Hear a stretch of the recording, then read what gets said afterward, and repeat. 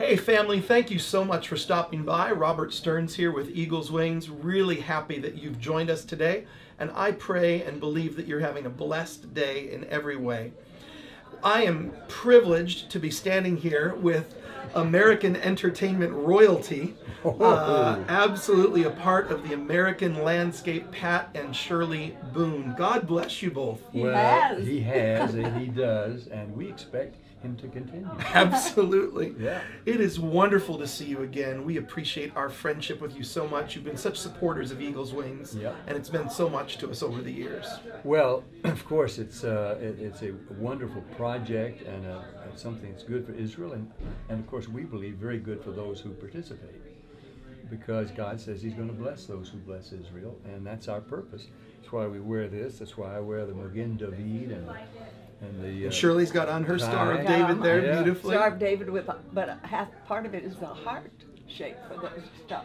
Mm-hmm. My friend Gail Lev was an Orthodox Jew who did Aliyah with her whole family. Just Wow. Not long ago. She was our therapist for our knee surgeries, you know, our replacements. But so, I mean, here you are, I mean, amazingly blessed, part of American culture, uh, household names in America, and yet you pick up this piece, this issue of Israel, and it becomes a part of your story. It becomes yeah. a part of who you are.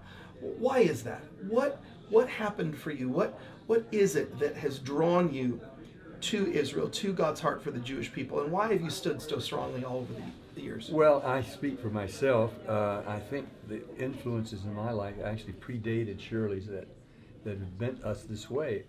My family, strong Christian church-going family, Out of Nashville. out of Nashville, and uh, Daddy, a, a, a building contractor, very practical profession. Mama, a registered nurse, even more practical maybe. And yet, it was a very practical part of our lives that we had Bible studies and we were always in church services. And we knew from my earliest days that we were reading a book of, of reality and of truth written by Jews, about Jews, and for Jews from beginning to end. But that we Gentiles, not born Jews, could get in on it because of the one who came. Uh, The Jew who came. The Jew who came in Bethlehem and grew up in Nazareth and who was recognized by rabbis and uh, ordinary folks alike in his time as the fulfillment of all the messianic prophecies and died on a cross and was raised. And then this became Messianic Judaism. It wasn't called Christianity. Right. It was called the Way. Right. Those who were following this Messiah.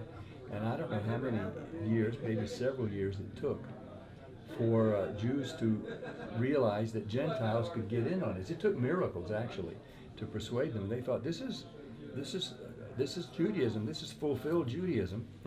But uh, uh, Peter was convinced by God to to go preach to a Roman in his home, a centurion, and uh, and and and that Roman had been so devoted to Judaism as a just as a well not a proselyte really. He was just some like us. He just saw something special and wanted Right. to be part of it. And God added him to the family and then that opened the door for all Gentiles who would receive the Jewish Messiah That's how we got in. yeah Oh, yeah. yeah That's how we got in. Yeah, yeah. And so we have a, a tremendous heritage yeah in the Word of God, the prophets of God, the people of God, our Messiah, Yeah, Jesus, yeah. Yeshua. All of this comes from the, the Jewish family. And. Shirley, you're wearing two pins tonight. Yes. You're wearing a pin of your grandson, Yes. Ryan, Yes. who we, so many of us, have been praying for him. Thank you And so we have much. seen step by step Your prayers are being heard. step by step this miraculous healing journey that, that he's on and the good report that just today that he's he's begun to take steps and and Yeah. just incredible Let me tell happening. you something so wonderful because Lindy has been, she's grown so spiritually through Yeah. all of this trial because she knew to look to the Lord for her help. She has prayed the word of God over that boy, and so have we. And um, she's written a book, Mm. and the title of it is Heaven Hears. Wow. It comes out in April, Mhm. and Jack's endorsing it. Rick Mhm. Warren is endorsing it, Mhm. and so is um, Ken Copeland. Mhm. Debbie's writing a foreword, Pat's writing a foreword, because they were all on the Larry King show, because Larry's Right. the one who came to Pat at the beginning of the accident and said, Would you like to come on the show and ask for prayer for your son? So the whole world. And he's agnostic, but he admires people of faith and said, I envy you. I wish I could have a faith like yours, but for this Jewish kid from Brooklyn, it's Mhm. never connected. But, But I we- believe Ryan's going to be assigned to him. Yeah. I really Well, I, your family's faith is already a sign. Uh-huh, yeah. The way that you have stood and seen uh, hope and encouragement and faith in this process has been amazing. And every step of the way, there are these mile markers where he's doing things Mhm. doctors said he would never be That's yeah, able right. to well, you know, the night of the accident, Lindy was in Spain, and the roommate, the, well, it was the daytime actually. The, his roommates called me because they couldn't reach anybody, and I lived ten minutes from UCLA emergency room where he was taken. And when I got out of my car, the paramedics were coming out. I said, "I think you just took my grandson in there," and they said, "Oh, Miss, don't get your hopes up." You don't say that to an intercessor. I don't lose my hope over problems. Just makes me pray more. So I went inside to find out what had happened and found out he had fallen from the equivalent of a fourth story building through a skylight, hit two wrought iron railings going down and landed on a concrete court. And the paramedics didn't think he was alive. They thought he was in the throes of death. They took him to the hospital at UCLA, tr- the trauma unit, which happens to be a good one. God knows where to let things happen. Mhm. And when I got there and they told me what had happened, two emergency room doctors came out.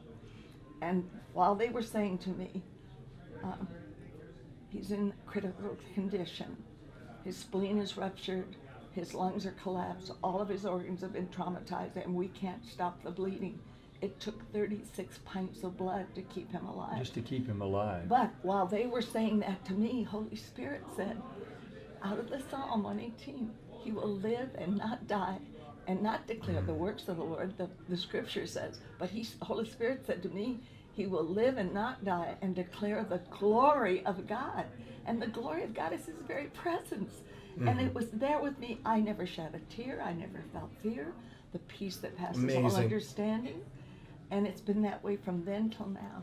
And what comes to me, and we only have a few minutes left, but what comes to me in these two pins, you know, you said regarding Ryan, Mhm. Yes. they said he's in critical condition. Yeah. Yeah.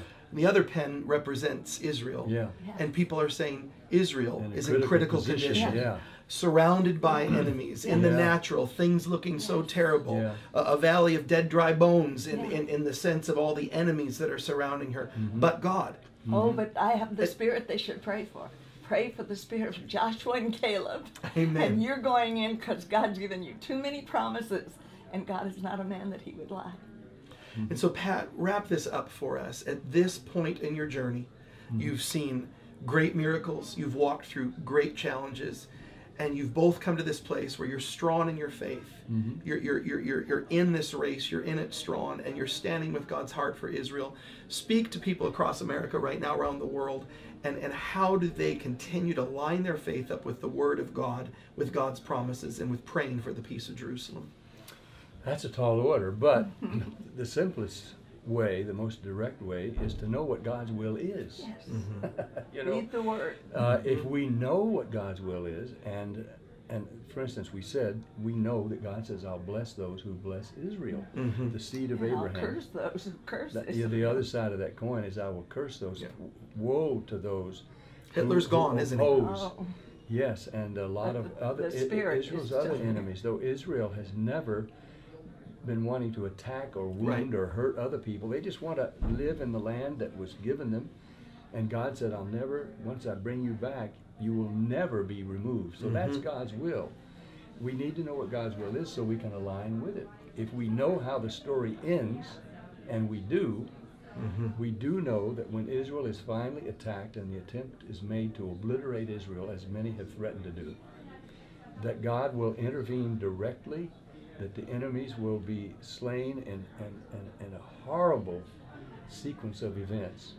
Israel will emerge uh, triumphant, though not through their own power, but through the miraculous intervention of God. So- Because That's- people are praying. and Yes. it's not by might, it's Not, by power, but by, my the spirit. Spirit of the so we need to be in line with God's will. And I'll Amen. tell you, we are proof of it because we have survived Hollywood, a marriage in Hollywood that next year is 60 years for us. there you go. A we're sign just and getting going good. Shirley, you got the last word. She gave the, she, she Oh, gave the last always- word. That's the secret, right? Yeah. Thank you so much for who you are. Thank you for how you've encouraged and given hope and love and life to so many people. Thank you for how you've blessed my life, how you've stood with Eagles Wings through the years. We appreciate you so much. And we thank the Lord for all of it. Yeah. Amen. Yeah. Amen. Thanks for dropping by, folks. We hope you're doing well. We speak blessings and Yes. faith and peace over your life today. And keep praying for the peace of Jerusalem. Shalom. Shalom. God bless you. Wonderful. Good, Beautiful, you guys. It's like you're Well, we it's like you're in the business or something.